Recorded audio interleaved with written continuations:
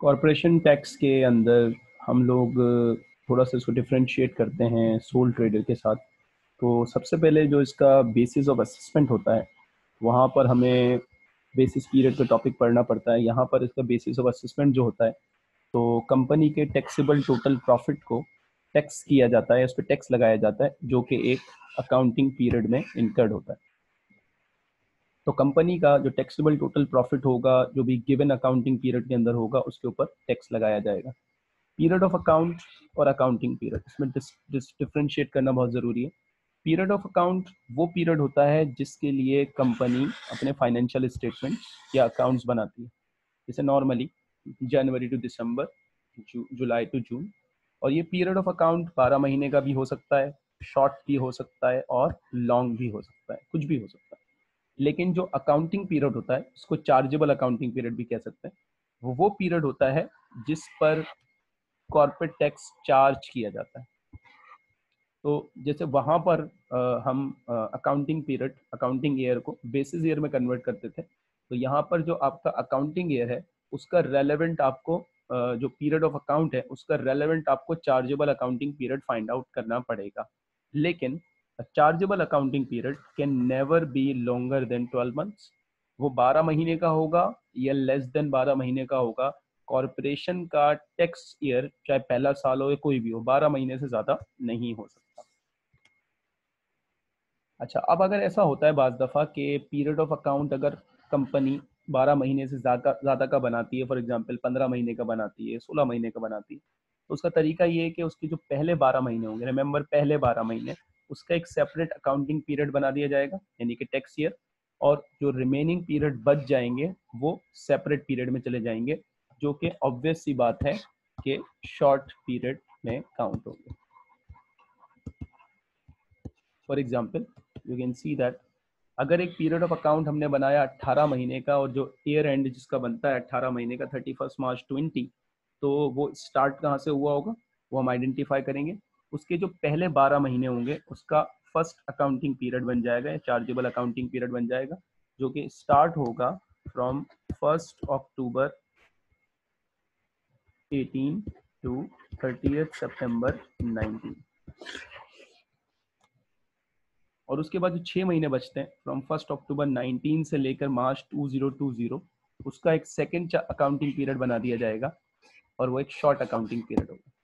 तो इसका मतलब ये हुआ कि फ़र्स्ट अकाउंटिंग पीरियड के लिए अलग टैक्स निकाला जाएगा और फिर सेकेंड शॉर्ट पीरियड के लिए सेपरेट टैक्स निकाला जाएगा। रेजिडेंस का रूल इंडिविजुअल के लिए भी इम्पोर्टेंट होता है कॉरपोरेशन के लिए भी इम्पोर्टेंट होता है। कंपनीज़ की रेजिडेंस का रूल इसलिए इम्पोर्टेंट है कि अगर एक कंपनी यूके रेजिडेंट क्लासिफाई हो जाती है तो उसको टैक्स पे करना पड़ेगा यूके में अपनी वर्ल्ड वाइड इनकम के ऊपर और चार्जेबल गेन के ऊपर। सो so, अगर एक कॉरपोरेशन प्रॉफिट अर्न करती है पूरी दुनिया में कहीं भी और वो यूके रेजिडेंट कंपनी है तो उसको यूके में टैक्स देना पड़ेगा यूके इनकम पे और वर्ल्ड वाइड इनकम के ऊपर यूएस इनकम पे या कहीं और इनकम पे आती है।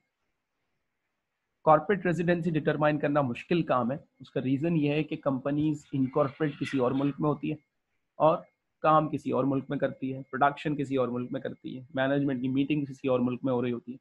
तो सबसे इंपॉर्टेंट जो पैरामीटर है, जो क्राइटेरिया है, वो क्या है? इनकॉर्पोरेशन का। इनकॉर्पोरेशन देखेंगे कहाँ है उसकी। अगर एक कंपनी इनकॉर्पोरेट यूके में हुई, अब एक्स वाई जी कहीं भी काम कर रही है, कहीं भी ऑपरेशन कर रही है, लेकिन अगर यूके में इनकॉर्पोरेट हुई तो उस कंपनी को क्या कहा जाएगा? It's a UK resident company लेकिन अगर एक कंपनी यूके में इनकॉर्पोरेट नहीं हुई ओवरसीज में इनकॉर्पोरेट हुई, सही? तो फिर ये देखा जाएगा उसकी सेंट्रल मैनेजमेंट कहाँ पर है। अगर उसकी सेंट्रल मैनेजमेंट यूके के अंदर है तब भी उसको यूके रेजिडेंट कंपनी कंसिडर किया जाएगा। तो हमारे पास दो क्राइटेरियाज हैं। पहला क्राइटेरिया हम देखते हैं इनकॉर्पोरेशन की बेसिस के ऊपर। अगर एक कंपनी इनकॉर्पोरेट यूके में हुई है, कुछ और देखने की ज़रूरत है लेकिन अगर एक कंपनी यूके इनकॉर्पोरेटेड नहीं है यूएस में इनकॉर्पोरेट हुई, लेकिन बोर्ड ऑफ़ डायरेक्टर्स की डिसीज़न मेकिंग बैठी हुई है यूके के अंदर तो हम उसको यूके इनकॉर्पोरेट ही करेंगे और यूके रेजिडेंट कंपनी बन जाएगी। ठीक है? अच्छा जी। उसके बाद जैसे हम इंडिविजुअल का जब टैक्स निकालते हैं तो हमें ये पता होता है कि हम उसकी इनकम को तीन हेड्स में क्लासीफाई करते हैं non saving saving dividend income फिर उसकी बैंड्स होते हैं बेसिक हायर एडिशनल फिर टैक्स रेट्स अलग होते हैं twenty forty forty five company में ऐसा नहीं होता। कंपनी में सिर्फ़ एक प्रोफॉर्मा है और तमाम इनकम को एक जगह लाइन अप कर दिया जाएगा। कंपनी की source of income trading profit property income interest income chargeable gain other income सबको कंबाइन किया टोटल इनकम आ गई टोटल प्रॉफिट आ गया, सबसे पहला काम।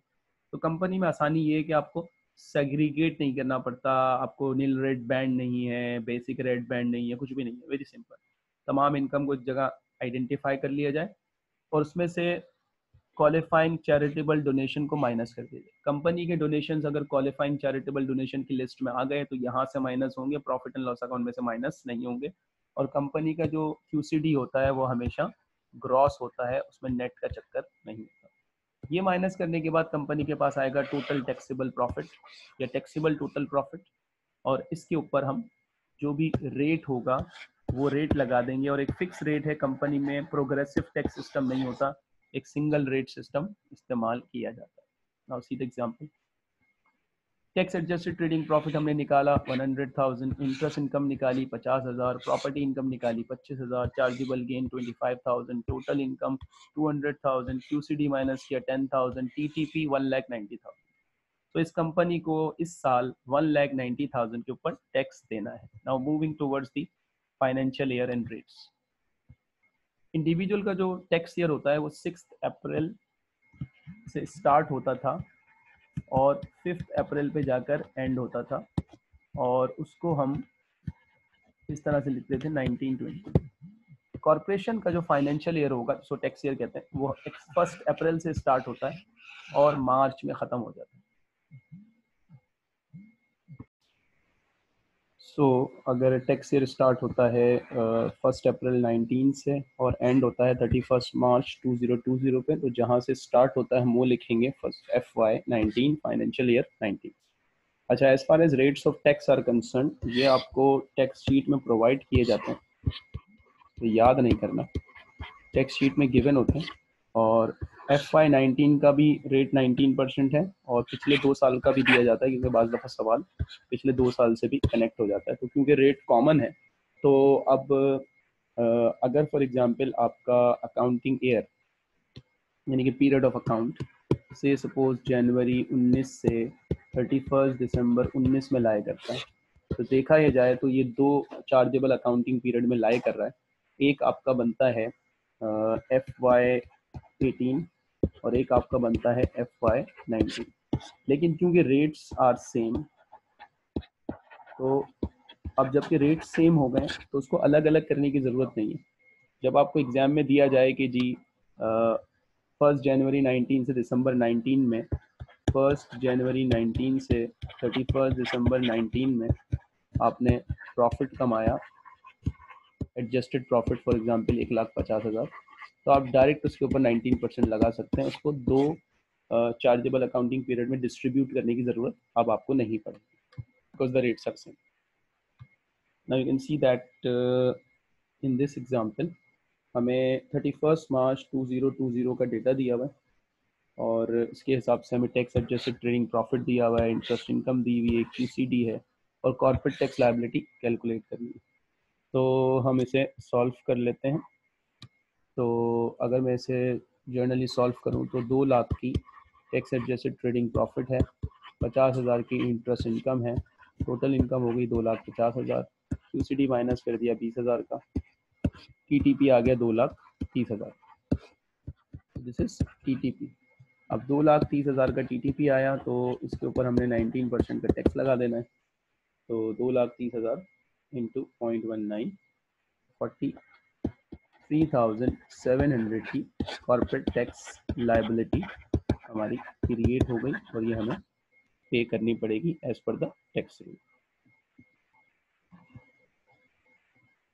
अब इसके अंदर जो प्रोफार्मा के अंदर जो डिफरेंट टाइप्स ऑफ़ इनकम है, उसके सबके स्पेसिफिक रूल हैं. For example tax adjusted trading profit की बात की जाए तो हम अकाउंटिंग प्रॉफिट लेते हैं और उस अकाउंटिंग प्रॉफिट को कन्वर्ट करते हैं टैक्स एडजस्टेड ट्रेडिंग प्रॉफिट इसके लिए जो रूल्स हमने सोल ट्रेडर में पढ़े थे या पार्टनरशिप में पढ़े थे, वो रूल हमारे बिल्कुल सेम है एक्सेप्ट फॉर फ्यू डिफरेंसेस तो हम डिफरेंसेस पे बात करेंगे कि वो क्या डिफरेंसेस हैं जो कि सोल ट्रेडर पार्टनरशिप को कंपनी से डिस्टिंग्विश करते हैं। तो जो मेन डिफरेंसेस हैं, उसमें पहला डिफरेंस है प्राइवेट यूज़ एडजस्टमेंट वहाँ ये होता था कि ऑनर समटाइम्स कोई चीज़ इस्तेमाल करता था तो अपने पर्सनल यूज़ के अंदर भी लेकर आ जाता था उसको। यहाँ पर अगर डायरेक्टर या एम्प्लॉय अगर कोई पर्सनल यूज़ के लिए कैलकुलेशन चीज़ इस्तेमाल करते हैं तो उसको हम कंसिडर नहीं करेंगे और उस पर्सनल यूज़ को इग्नोर कर देंगे। क्योंकि शेयर होल्डर्स तो पर्सनल यूज़ कर नहीं सकता। या तो डायरेक्टर करेगा या एम्प्लॉय करेगा तो वो प्राइवेट यूज़ एडजस्टमेंट जो पर्सनल नेचर की होगी, उसको इग्नोर कर दिया जाएगा एड बैक नहीं किया जाएगा। सिमिलरली इसके अंदर एक बड़ा इंपॉर्टेंट कॉन्सेप्ट है और वो है इंटरेस्ट इनकम का और एक्सपेंस का। ये स्टूडेंट को टफ टाइम देता है interest income and interest expense so as far as interest is concern तो उसमें एक चीज़ याद रखी जाए कि इंटरेस्ट इनकम हो या इंटरेस्ट एक्सपेंस हो, हमें देखना पड़ेगा कि वो interest income loan relationship rule के अंदर फॉल हो रहे हैं या नहीं फॉल हो रहे हैं। यहाँ पर हमारा जो इंटरेस्ट का एलिमेंट है, उसको हमें ये चेक करना पड़ेगा कि ट्रेडिंग पर्पस के लिए है या नॉन ट्रेडिंग पर्पस के लिए। अगर आपने इंटरेस्ट लिया है या दिया है, उसका आपको पर्पस देखना पड़ेगा कि वो ट्रेडिंग पर्पस के लिए है या नॉन ट्रेडिंग पर्पस के लिए। फॉर एग्जांपल, अगर मैं इंटरेस्ट एक्सपेंस की बात करूँ तो interest on overdraft interest on overdraft अब बैंक से जब ओवरड्राफ्ट लिया जाता है तो वो बिज़नेस पर्पस के लिए लिया जाता है तो वो ट्रेडिंग पर्पस के लिए। इसी तरह, अगर कोई ऐसा इंटरेस्ट एक्सपेंस है जो ट्रेडिंग पर्पस के लिए नहीं है तो उसको हम नॉन ट्रेडिंग पर्पस के लिए कंसिडर करेंगे और वो चला जाएगा लोन रिलेशनशिप रूल के अंदर। तो जब वो लोन रिलेशनशिप रूल के अंदर जाएगा तो उसकी इम्प्लीकेशन क्या होगी? अब आपको ख्याल इस बात का रखना है कि जब इंटरेस्ट इनकम या एक्सपेंस आएगी तो वो प्रॉफिट एंड लॉस अकाउंट में जाएगी या मेन प्रोफॉर्मा में जाएगी। तो अगर वो ट्रेडिंग पर्पस के लिए है तो वो प्रॉफिट एंड लॉस अकाउंट के अंदर ही रहेगी। और अगर वो नॉन ट्रेडिंग पर्पस के लिए है तो वो मेन प्रोफॉर्मा के अंदर जाएगी एज इंटरेस्ट इनकम और एक्सपेंस तो आपको ट्रेडिंग और नॉन ट्रेडिंग पर्पस देखना पड़ेगा कि ट्रेडिंग पर्पस है या नॉन ट्रेडिंग पर्पस सही? जैसे प्रॉपर्टी खरीदने के लिए अगर लोन लिया गया तो उसका जो इंटरेस्ट है वो ट्रेडिंग पर्पस के लिए नहीं होता इसी तरह शेयर्स खरीदने के लिए लोन लिया गया तो उसका इंटरेस्ट ट्रेडिंग पर्पस के लिए नहीं होता। इसी तरह हमने इंटरेस्ट रिसीव किया बैंक अकाउंट के ऊपर। तो जो इंटरेस्ट रिसीव हो रहा है, हमारा बिज़नेस नहीं है तो उसको भी हम नॉन ट्रेडिंग रिलेशनशिप के अंदर काउंट करेंगे। अच्छा इसी तरीके से जो हमारी अदर एडजस्टमेंट्स हैं, उसके अंदर एक एडजस्टमेंट है जो कि हम कंसिडर करते हैं डिविडेंड के हवाले से, जो मैंने आपको ऑलरेडी बताई कि डिविडेंड इनकम जो आती है, वो टैक्सेबल नहीं होती। इसी तरह डिविडेंड पेबल कंपनी के लिए अगर कंपनी ने डिविडेंड दिया तो dividend payable is not considered as an expense चाहे वो कोई भी डिविडेंड हो। अगर उसे प्रॉफिट एंड लॉस अकाउंट में माइनस किया हुआ एज एन एक्सपेंस तो हमें क्या करना होगा? हम उसे उठाकर एड बैक कर देंगे, क्योंकि वो अप्रोप्रिएशन ऑफ़ प्रॉफिट का पार्ट कंसिडर किया जाता है। इसी तरह, हमारे पास कैपिटल अलाउंसेस के जो इंडिविजुअल के रूल हमने पढ़े हैं ऑलमोस्ट वही सारे रूल्स हैं जो हमने इंडिविजुअल में पढ़े हैं। जैसे ए आई ए क्लेम होगा up to one million on the acquisition of plant and machinery first year allowance मिलेगा 50 ग्राम वाली कार के ऊपर। इसी तरह डब्ल्यू डी ए मिलेगा 18 परसेंट पर एनम या 6 परसेंट पर एनम लेकिन यहाँ पर कुछ कैपिटल अलाउंसेस में रूल्स थोड़े से डिफरेंस हैं। एक डिफरेंस ये है कि लॉन्ग अकाउंटिंग पीरियड नहीं होता, ठीक है? नो लॉन्ग अकाउंटिंग पीरियड दूसरा डिफरेंस ये है नो प्राइवेट यूज़ एडजस्टमेंट वहाँ ये होता था कि अगर ऑनर प्राइवेट यूज़ करता था तो हम अलाउंस को बिज़नेस परसेंटेज से ले लेते थे। यहाँ पर अगर डायरेक्टर या एम्प्लॉय को गाड़ी इस्तेमाल कर रहा है, वो प्राइवेट पर्पज़ के लिए भी इस्तेमाल कर रहा होगा तो हंड्रेड परसेंट आपको कैपिटल अलाउंस उसके ऊपर प्रोवाइड किए जाएँगे।